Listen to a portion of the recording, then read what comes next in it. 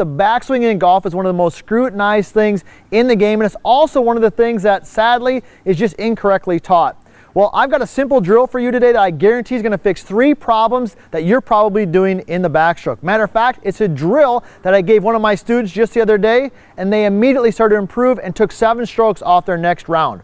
I'm PGA teaching professional Todd Kolb, Director of Instruction for US Golf TV, and having been lucky enough to be teaching this game for well over 20 years, working with everybody from a beginner all the way to tour professionals, the backswing is where it all starts. Now, there are three common mistakes that I see a lot of weekend warriors, a lot of people who slice the golf ball. If you slice a golf ball, you're going to want to continue to listen to this because this is for you. But there's three common mistakes that I see a lot of them make.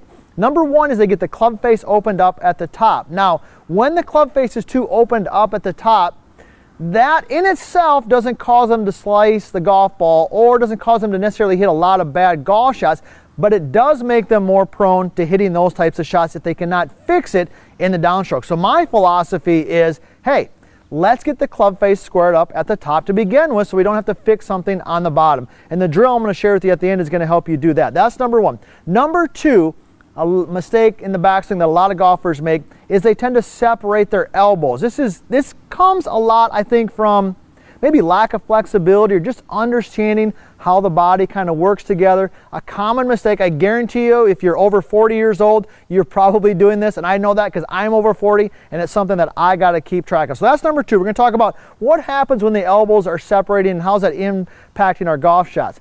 Number three is a bad turn. When the arms separate from the body, that also is a backswing mistake that I see a lot of golfers make that quite honestly, they just can't do, but we've got a drill that's gonna help you do that. So before we dive into the drill, we kind of dive into the details, hey, be sure to leave a comment. I love hearing from you. Maybe you've got a specific backswing problem that's giving you fits. Maybe we can answer it for you. Be sure to subscribe if you haven't already, and also follow us on Twitter and Instagram. We've got some great content there that's helping golfers all over the globe. Now, if the backswing is something that we're talking about here today, and we've already mentioned these three things, arms separating from the body, separated elbows, open club face, here's a simple way to fix that. Now I've got just a, this drill involves a big ball, a small ball, and a golf club. It's really simple. Now, if you're following golf, you've probably seen a lot of products that look kind of like this. It's really popular right now. I've been using this for over 10 years. And I'm seeing it more and more when I'm on the road on the tour. I'm seeing more and more of the players use something just like this. Now, why are they using it? Well, let's go through those first few things that we talked about with the backstroke. Number one is the open club face. So what you're going to do, if you think your club face is open up at the top, which it could be, you want to take the ball and you're going to basically position the ball kind of low down. I wouldn't say like by the wrist because it's not going to be able to get all the way down there, but way down on the forearms. Now, when the ball is positioned down by the forearms, it's going to naturally get your lead wrist, for me is my left wrist, in what we call position where the club face is square. It kind of looks something like this. That allows me to get my club face more square. When the lead wrist is cupped this way, the club face stays open. Now, I want to say this because I probably got some fellow golf instructors watching this. Just because the club face is open at the top does not mean you're going to slice the golf ball. There are some people who play good golf with an open club face, but this isn't for tour professionals, right? This is for you watching this who's just playing maybe a couple times a week if you're lucky. You want to get that club face squared up at the top. When the ball is in there and you squeeze the ball, that's going to help you get that lead wrist in a better position, help you get that club face squared up. That's number one. Number two, we talked about separating of the elbows. Common mistake I see with a lot of people when they start to lose mobility in their body uh, and things like that. So what happens? They take the club away.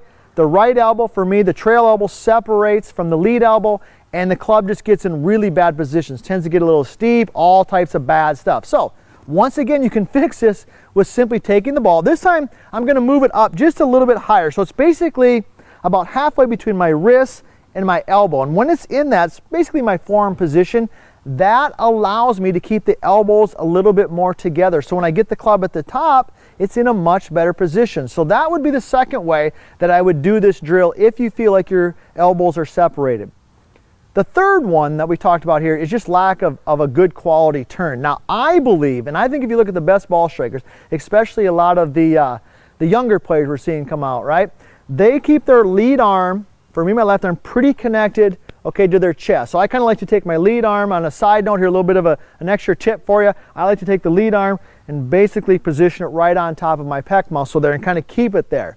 And when it stays there, that forces you to turn your entire body and rotate into a good spot versus the arm separating and running away from you. Bad position to be if you want to hit good quality golf shots. So I'm going to go back to my little ball here, right? This ball can accomplish a lot of things. But this time, I'm going to position a little bit higher, almost, I'm going to say up by the elbows. So when it's up in between the elbows, what you're going to feel is you're going to feel your arms kind of more connected to your chest. Not a not necessarily a tight feeling, but more of a connected feeling. And if you can keep that on the back swing and on the forward swing, you're gonna definitely improve your pivot and as a result, hit better quality golf shots. So let's recap here because we've covered a lot of ground. And if you're still watching this, you're definitely of learning some things that are helping you play better golf. And as I said earlier, be sure to subscribe if you haven't already. If you don't agree with this, that's okay. Let me hear from you. I want to hear that because I love the debate and maybe you can teach me something that I don't know. So three common mistakes. Number one, club face gets open.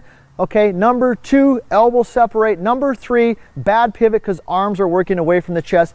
Taking a ball, position it in a few different positions along the arms can fix that for you. It's a drill I've used for over 10 years. Matter of fact, I just used it the other day with a student in about three balls boom, they started hitting the golf ball better. And the next time they went out, they shaved five, six strokes off their score. So if you struggle with the backswing, if you're a little bit confused, this simple drill will help you do that. Be sure to subscribe. Be sure to leave a comment. We love hearing from you. And stay tuned for more great information on how to help you play better golf.